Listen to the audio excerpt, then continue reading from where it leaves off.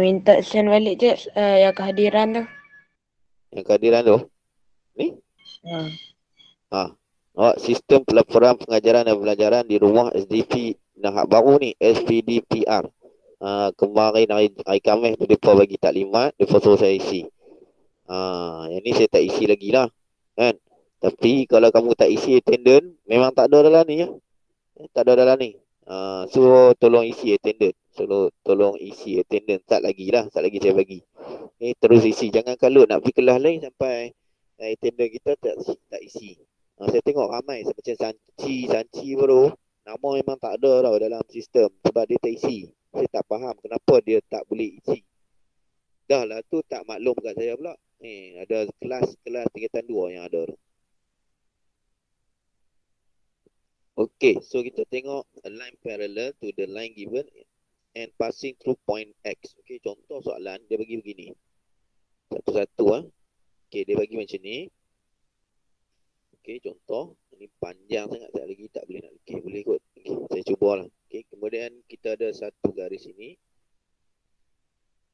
Okay, sini. Uh, kemudian kita ada satu garis kat sini. Dia pastikan dia sama lah. Okay, dia ada dua garis, dua lekuk kat sini. Dia letakkan RS lah. So kita nak bina garis parallel. Parallel ni garis dia selari. Yang ada atas. Eh, ada atas selari. Saya lupa nak bagi nota ni. Katanya bagi nota. Tapi tak apalah. Ini two in one. Okay, two in one. Nota dan juga construct. Okay. Kemudian kita nak tengok, uh, nak buat okay, satu garis yang selari dengan dia. Selari kita first dia mesti ada point lah. Dia letakkan point X. Okay, dia letakkan point X. Di sini tak ada nak buat titik saja ni masalah. Okey, so contoh saya letakkan X tu dekat sini. Nampak tak? Ha, saya buat macam tu lah. Buat pangkau gitu.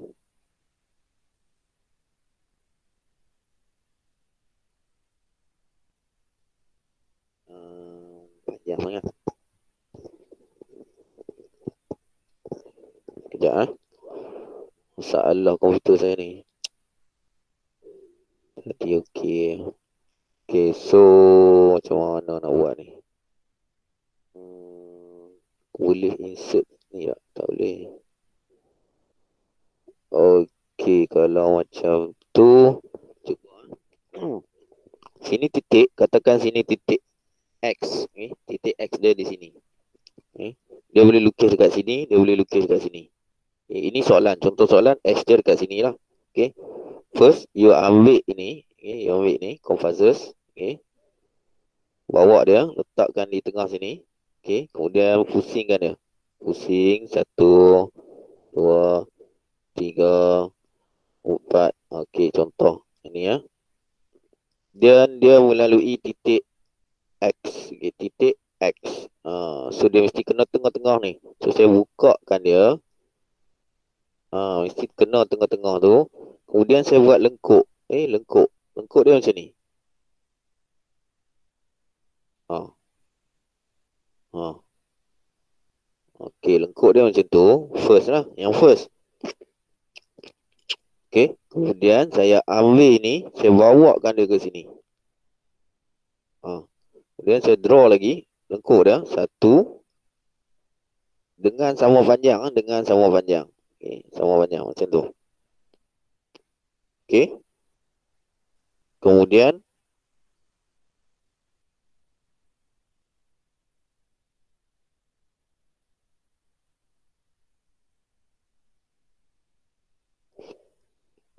Okay. Kemudian. Saya buka kan yang ini. Okay, saya buka kan yang ini. Buka balik. Saya tarik dia sampai sini. Okay, letak di situ. Dia saya lock. Oops. Okay, saya ambil sini. Saya rotatekan dia. Saya buat garis di sini. Oh, cun-cun dekat situ hujung dia keluar. Eh, sepatutnya dia kena betul-betul lah. Eh. Kalau terlebih sikit tak apa. Tak ada masalah. Ha, contoh macam tu lah. Okay. Ataupun saya lock balik. Okay. Saya ambil garis yang sama. Okay, contoh sini. Kemudian. Ha, sini que ese es el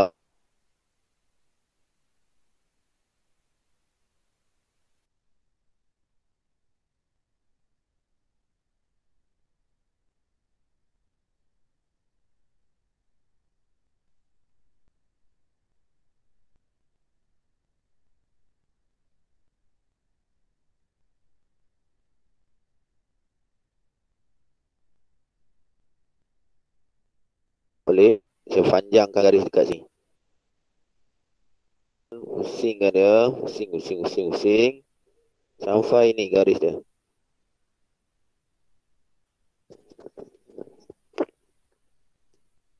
Okey, lebih kurang kat sini lah. Lebih kurang kat sini. Okey. Nampak titik ni, hujung ni dengan hujung ni. Kita sam sambung. So, saya ambil pembaris, uh, pensel dan saya sambungkan dia. Uh, panjangkan dia. Yang inilah kita panggil garis selari ataupun parallel line. Okay, parallel line. Itu je. Belum-belum buat garis ni, buka you punya kompas kat sini. Cikgu, suara slow. Ya? Suara slow. Suara slow? Oh, macam ni okey tak? Macam ni? Uh, okey dah. Okey dah. Ah, sebab mic ni uh, dah berada di betul-betul bibir saya dah. Ni saya dah cuba repair semalam tak boleh.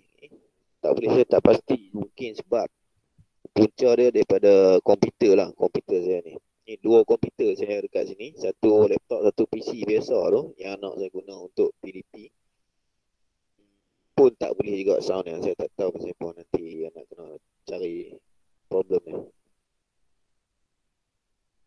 Dua hari saya cuba repair. Okay. okay, tak apa. Okay, sekarang ni. So, first step tadi, kita ambil kompas. Kita letak sini. Kemudian kita buat ini garis ni. Kan kita buat garis dulu. Ni buat panjang dia sampai point ni sini. Buat garis yang pertama. Okey kemudian bawa dia pergi sini buat garis yang kedua di sini di kanan kiri. Kemudian panjangkan dia ambil panjang ni. Okey ambil panjang ni point A ke point B ni berapa panjang bukakan dia. Dia letak di sini dan buatkan garis yang ketiga di sini last kali baru ambil pembaris sambung saja sambung okey Uh, ini contoh lah. Ini contoh. Okey. Uh, sampai situ. Kemudian kita tengok yang seterusnya. Okey. Untuk muka surat 52. Okey. Page 52. Okey. Page 52. Ini siapa nak cuba hantar boleh lah. Cuba hantar nanti kita tengok kat mana you punya mistake. Okey. Untuk konstruk uh, 60 darjah. Okay, 60 darjah. Simple saja. Saya print screen dulu yang ni. Masukkan dalam nota kita. Okay. Ha, ini.